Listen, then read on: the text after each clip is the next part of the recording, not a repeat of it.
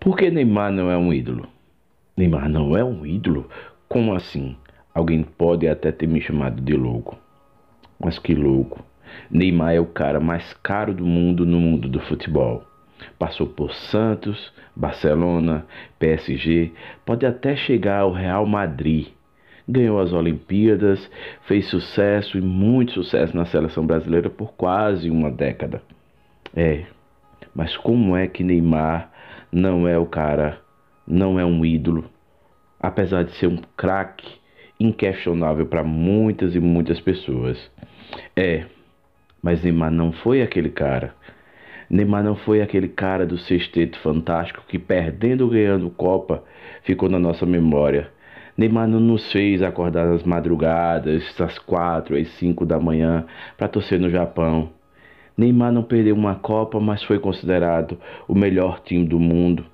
Neymar não balançou, levou os Estados Unidos a se encantar e chorar com Branco, Bebeto, Romário e tantos outros.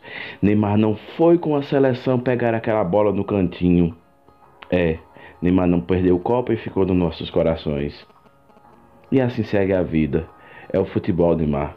Futebol de Deus, onde as pessoas precisam sempre ter humildade para ser um ídolo.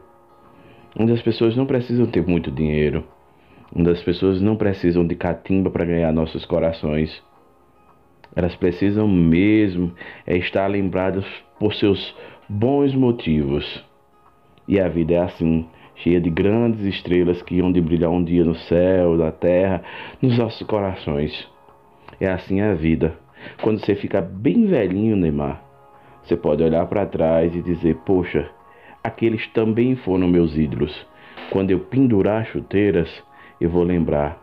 Tem muita gente boa no passado. Tem muita gente boa inesquecível, mesmo quando era preto e branco. Tem gente que vai ficar por décadas, séculos e muitos anos nos corações da gente.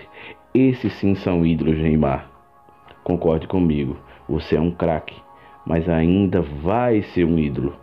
Quem sabe, mas ainda não é. Bloco Social, um abração, até o próximo vídeo. Tchau.